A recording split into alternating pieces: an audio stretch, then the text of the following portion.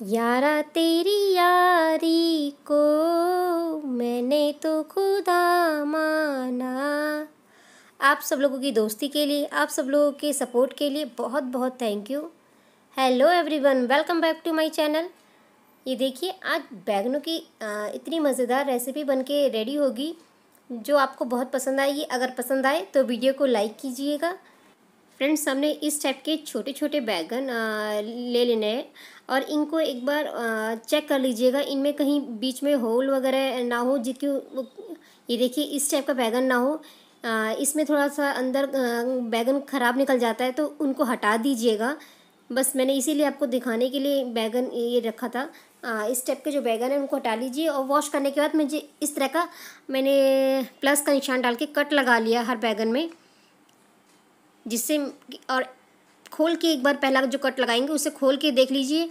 और दूसरा कट पूरा फुल मत लगाइएगा, छोटा ही लगाइएगा। इस तरह कट कर लगा के सारे बैगनों में एक साइड रख लीजिए। जिसने भी मेरे चैनल को अभी तक सब्सक्राइब नहीं किया है, वो सब्सक्राइब कर दीजिए और बेल बटन पे जाके उसे क्लिक कर दीजिए। और जो मेरे चैनल पे आज पहली बार आए हैं, उनसे भी मैं रिक्वेस्ट करती हूँ, please subscribe me and all पे जाके बेल बटन को क्लिक कीजिए, जिससे मेरी वीडियोस की नोटिफिकेशन आप तक पहुँच जाए। ये देखिए फ्रेंड्स मैं अब क्या कहते हैं, इसमें जो मैंने ये मेन इंग्रेडिएंट्स डालना है, वो है कहते हैं कोकोनट कोकोनट सबके घर में अवेलेबल होता है। देखिए, अगर आप उसका ब्लैक स्किन निकालना चाहे तो निकाल दीजिए। मैंने इसको डाल दिया है और उसको ग्राइंड कर लिया मैंने बिल्कुल। और देखिए, मैं अपने सारे जो मेरे बैगन हैं, उन, जो मैंने कट लगा लिए थे, उनको मैं इसमें फ्राई कर लूँगी। अच्छे से इसको फिफ्टी परसेंट इसको बैगनों को आपको फ्राई करते समय ये पक जाएँ उतना ही हमें इसको क्या कहते हैं फ्राई करना है कि फिफ्टी परसेंट तक हमारे बैगन पक जाए। मैंने यहाँ पे देखी लिड लगा ली थी। ऑयल छीटे मार रहा था क्योंकि बैगनों में भी अभी क्योंकि आ, पानी होगा तो ऑयल छीटे मारा था तो मैंने कवर कर लिया। आप भी ऐसे ही कीजिएगा। अगर कहते ऑयल छीटे मारा तो आप कवर कर दीजिए जिससे बैगन पक भी जाएँगे। और देखिए मैंने उनको दोबारा से लिड लगा लिया एक बार घुमा लिया था। ऊपर नीचे रोटेट कर लिया। ये देखिए, आप इस तरह की, आपको जब आप स्पैचुला से इसको टच करें ना तो वो आपको प्रेस करते दिखे कि हाँ ये प्रेस हो रहे हैं। तो आप निकाल लीजिए उन्हें। ये देखिए, मैं इस तरह हो ये हो जाए और आप उनको निकाल लीजिए। आप इस टाइम आप उसमें नमक डाल दीजिएगा, जो हम बैगन निकाल चुके हैं ना, उनमें नमक भुरभुरा दीजिए, क्योंकि गर्म में वो जल्दी से ऑब्ज़र्व कर लेंगे। अब मैंने यहाँ पे, देखिए फ्रेंड्स ऑयल में अपना जीरा और ऑनियन ऐड कर लिया है।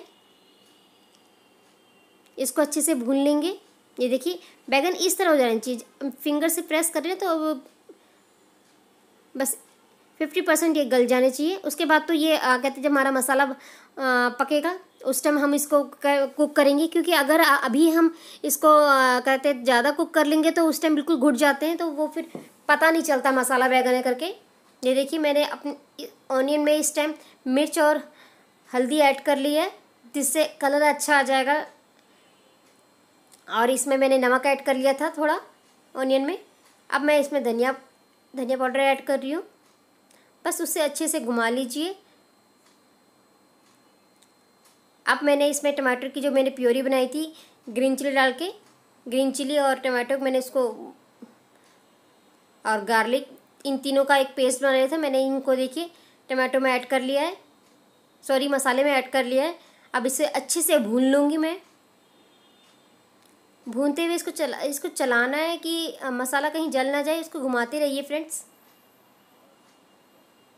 कुछ इस तरीके से। अब मैं थोड़ी देर इसमें ना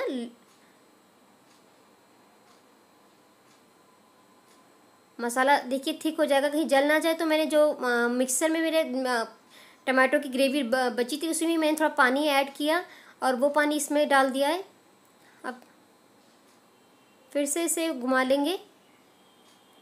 और अब मैंने थोड़ा नमक ऐड किया इसमें। थोड़ा मैंने ऑनियन जब मैंने कहते डाला था भूनते समय, तब डाल दिया था थोड़ा ऑनियन के साथ और थोड़ा मैंने अभी ऐड किया है। और लिड लगा के इसे छोड़ देना है। आप दस मिनट इसे छोड़ दीजिए जिससे मसाला अच्छे से कुक हो जाए। ये देखिए, मसाला अच्छे से कुक हो चुका है। और अभी हल्का हल्का ऑयल इसने रिलीज़ किया है। आप ऊपर देख रहे होंगे। अब इसे फिर से एक बार चला लीजिए। मसाला अगर हम छोड़ देंगे तो मसाला नीचे तले पे लग जाएगा। अभी इसीलिए मैंने थोड़ा पानी ऐड किया था कि मसाला जले नहीं हमारा। ये देखिए, कुछ ऐसे मैं फिर से इसे लीड लगा लूँगी। और फिर से मैं इसको छोड़ दूँगी थोड़ी देर के लिए। जब मसाला हमारा वेल कुक हो जाएगा फ्रेंड्स उसके बाद ही हमने जो इस बैगन की सब्ज़ी को जो एक अच्छा टेक्सचर देगा और एक अच्छा इसका टेस्ट डेवलप कर देगा ना, वो बाद में डालेंगे। ये देखिए, इसीलिए मैंने टमाटो को अच्छे से कुक कर लिया। अब मैं जो हमने ये कोकोनट पाउडर बनाया ना, वो मैं इसमें ऐड ऑन करूँगी। सच में, आप जब ये मसाला बैगन बनाएँगे ना तो आप इसके मसाले के साथ ही रोटी खा लेंगे। इतना टेस्टी बैगन तो खाएँगे ही खाएँगे क्योंकि बैगन उसी मसाले में क्या कहते हैं मिक्स हो रखा है और इसका मसाला भी आप बड़े इन्जॉय से आ, करके खाएँगे। ये देखिए कुछ इस तरीके से। और नारियल डालते ही ना जो इसकी ग्रेवी थोड़ी सी येल्लो सी हो गई है क्योंकि थोड़ा वाइट टेक्सचर अपना ऑयल रिलीज़ करता है ना कोकोनट में अपना खुद ऑयल है अब मैं थोड़ा सा ना इसमें पानी ऐड करूँगी। कि जो इसकी जो ग्रेवी बनेगी ना मसालों के लिए वो थोड़ी लटपटी सी होनी चाहिए जो कि बैगन उसमें अच्छे से वो हो जाए। क्योंकि अभी मैं इसको अच्छे से और एक बार कुक करूँगी लिड लगा के रख दूँगी इसे। ये देखिए फिर मैंने इसको पाँच मिनट के लिए रख दिया है।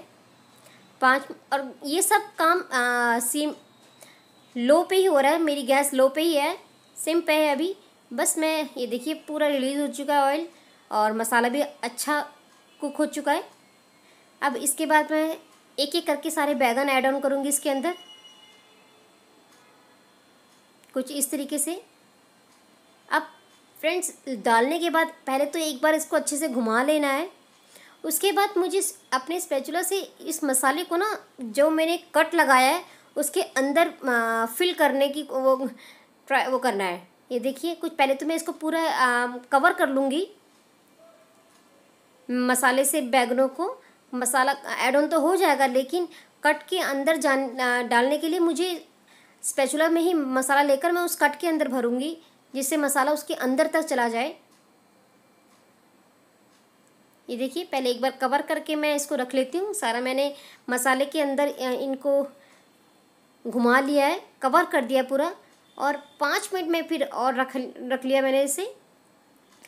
पाँच मिनट बाद आप देखेंगे मसाल, बैगनों ने मसाला अच्छे से ऑब्ज़र्व कर लिया है। और अंदर, ये देखिए, मसाला कितना ठीक हो चुका है और बहुत टेस्टी रेसि बनी थी ये डिश बहुत यम्मी मसाला, बैगन बहुत यमी बनता है और एक बार आप इसे इस तरीके से बनाइएगा। नारियल पाउडर सॉरी ना, जो कोकोनट पाउडर है ना, उसने इसमें, इसके जो ग्रेवी है ना, उसमें एक अलग ही टेस्ट डेवलप कर दिया था। बहुत यमी इसके अंदर मैंने ऐड कर लिया इसको। कुछ इस तरह देखिए, मैं स्पैचुला से ना, मैं उसके अंदर फिल करने, ये देखिए, इस तरह कुछ उठाइए और अंदर फिल करने की कोशिश कीजिए कि अंदर अंदर तक इसका मसाला इसके अंदर ऐड ऑन हो जाए। अब मुझे लग रहा है कि तले पे लग रहा है मेरा मसाला तो मैं अच्छे से एक बार घुमा लूँगी। देखिए, क्योंकि नारे, जो कोकोनट पाउडर ये देखिए, क्योंकि कोकोनट बहुत जल्दी चिपक रहा है, देखिए उसमें।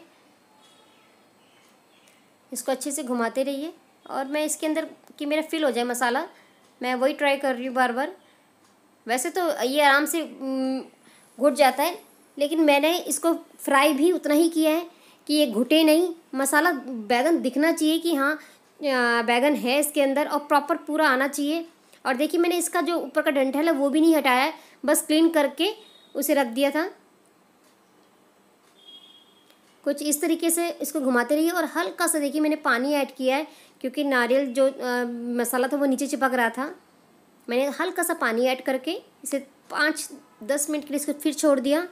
उसके बाद देखिए फ्रेंड्स इसने ऑयल पूरा रिलीज़ कर दिया है।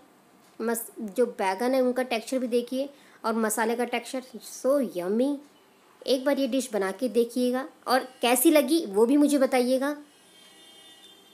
ये देखिए क्या टेक्सचर है इसका? बहुत यमी बनी थी। आप एक रोटी की बजाय दो रोटी खाना पसंद करेंगे। इतनी यमी बनी थी इस ए, मसाला बैगन। देख के ही मुँह में पानी आ रहा है। है ना यमी रेसिपी एक बार ट्राई ज़रूर कीजिएगा। Thank you for watching this video friends comment करके ज़रूर बताइएगा आपको ये रेसिपी कैसे लगी। घर पे ही रखी कोकोनट तो हर किसी के घर में अवेलेबल होता ही है, ये देखिए। और इसका पाउडर भी मार्केट में आसानी से मिल जाता है। और कितना यम्मी लग रहा है, देखिए। एक बार इसे ज़रूर ट्राई कीजिए। Thank you very much please like share and subscribe my channel